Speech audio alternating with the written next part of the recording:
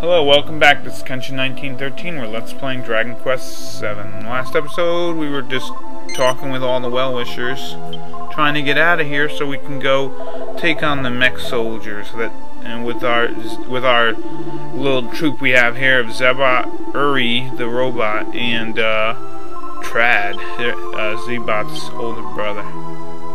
Uri was some lady, I don't know who. She was someone who Zebbot must have loved.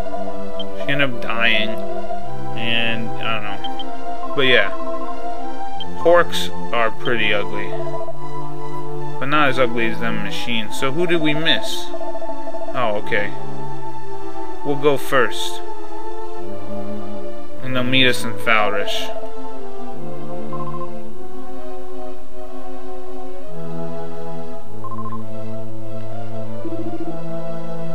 No problem. These guys are easy. I don't know why you're having so much trouble. Keep saying that.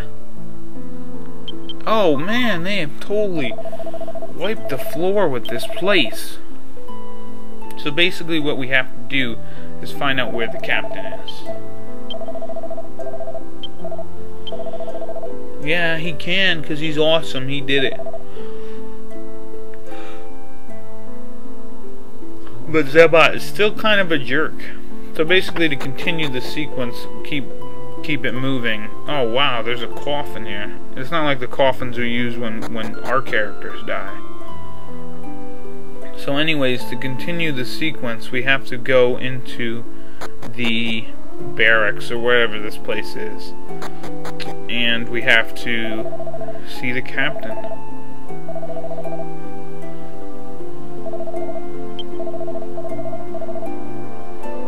So basically you just see the captain, and now we can head to the en enemy's hideout, the enemy territory. So let's go there. As you can see, there's a wall, there's a whole row of enemies that have totally beaten the crap out of this poor town. The Terminators have totally terminated their targets. Wow, say that five times fast.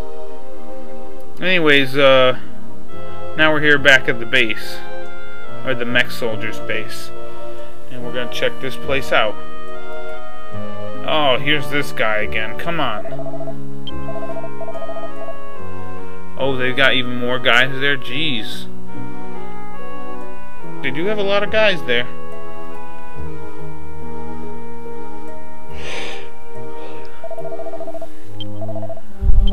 Can't make a move because you guys are totally weak.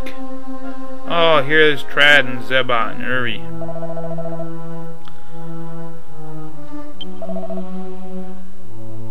Exactly, we got here before you because we're faster than you. And you guys have to take some mechanic guy with you.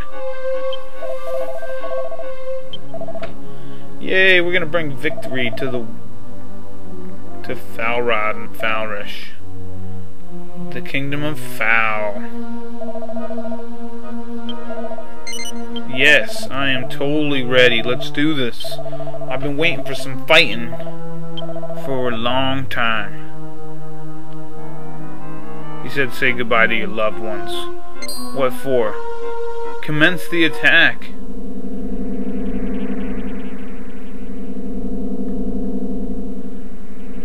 Is the signal working? They're going berserk on each other. Let's continue into their lair. Yeah, so let's, uh... Oh, that's not nice. Nice job, Zebbot. And Uri as well. So let's head into, uh... Well, just look at all these soldiers going crazy. So let's head into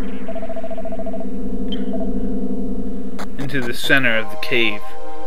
And of course, their hideout is all mechanicalized and stuff.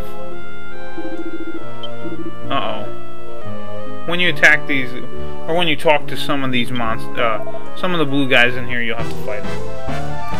Oh, here's some new enemies, Baby Gargoyle. Or Baby Goyle, whatever. You know what the hell I mean and they're pretty easy, but they can attack. They can cast Ice Bolt on you. And of course, you're to be fighting a lot of clock mechs while you're in here as well.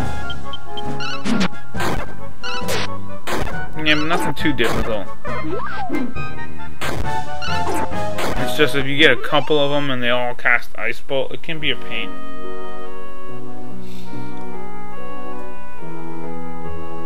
I'm not even gonna bother talking to that guy. And look at that, we got elevators. That's pretty cool.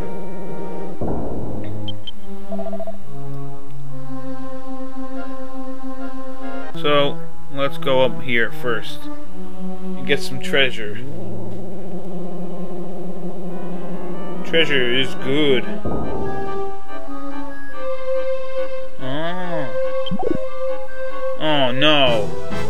Our first man-eating chest of the game. I think it's a man-eating chest. Or mimic or whatever. And they cast a pretty powerful uh, spell called Fireball. This is actually the last time this game, uh, that these spells will actually be called what they're called from the old game. In Dragon Quest VIII, they they have a whole new uh, set of names. Oh, look at that! Gabo went up another level. Yay! And as you can see, Gabo's starting to gain some MP. So eventually he will be able to use spells. But so far, uh, Kiefer hasn't learned any, hasn't gained any MP.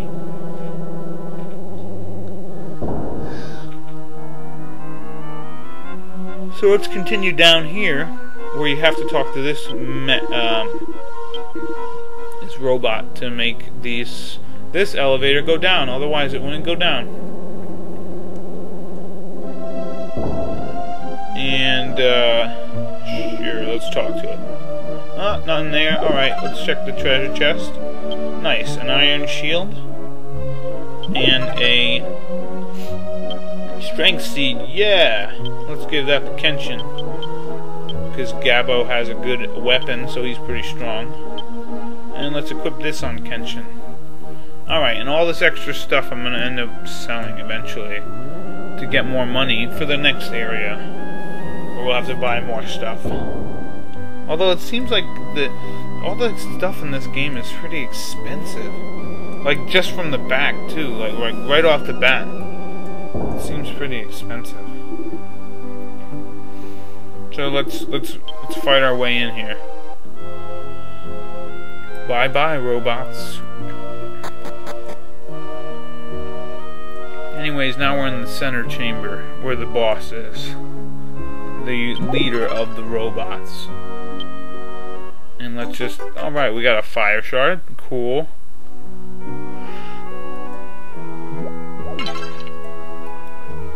Hundred gold, very nice.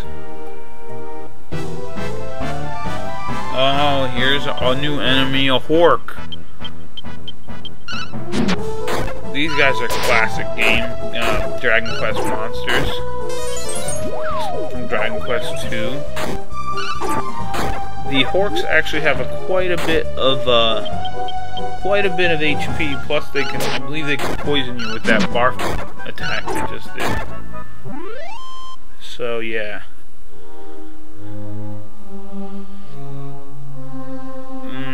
don't think there's anything else over here. Okay, let's uh, let's go up here. But first, let's heal up. We'll have Maribel use. Uh, oh, here's an. I don't know why I kept this battle in here, but whatever. Nothing hard. These guys are easy.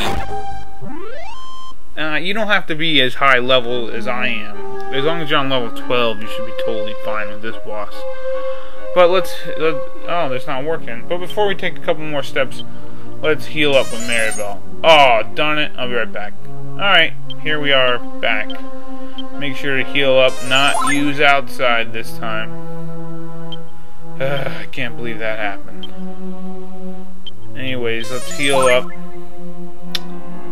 and fight the boss. Yeah, we were. We're totally... You, these guys are nothing. these guys are nothing. And now we take on three mech soldiers and kill them. Take that, boss.